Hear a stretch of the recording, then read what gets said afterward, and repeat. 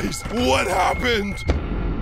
We were trying to cure Barfbag after she collapsed. I think What? we're, no, no, okay, no, I think People, people, we are working as hard as we can. After Barfbag's vomit poured out last episode, being empty has caused her to be sicker than usual. Her barf molecules must be required for a healthy and happy bag. With Rocky gone, the only way to get vomit are the remains left lavafied in the volcano. Or to simply destroy Barfbag and recover her. No, you can't despawn her. Please, try the lava vomit stuff first. So we tried the lava-infused vomit, but Something was immediately wrong. Different liquids seemed to influence Barf Bag, but this unhealthy mixture seemed deadly.